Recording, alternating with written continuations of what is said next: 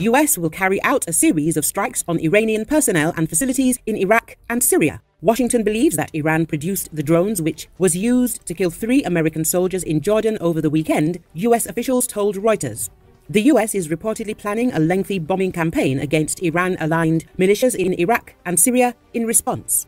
A drone packed with explosives struck a remote US outpost in Jordan last Sunday, killing three American soldiers and injuring dozens more. The strike marked the first time that American lives were lost after months of attacks on US bases in the region by various militant groups working in solidarity with Hamas. US analysts concluded that the drone was of Iranian origin after analyzing fragments from the blast site, the officials told Reuters without giving any further information about the precise model. The White House has already blamed the attack on members of the Islamic Resistance, an umbrella group of Iranian armed militias operating across Iraq and Syria. US President Joe Biden, however, said on Tuesday that he holds Tehran responsible in the sense that they're supplying the weapons to the people who did it.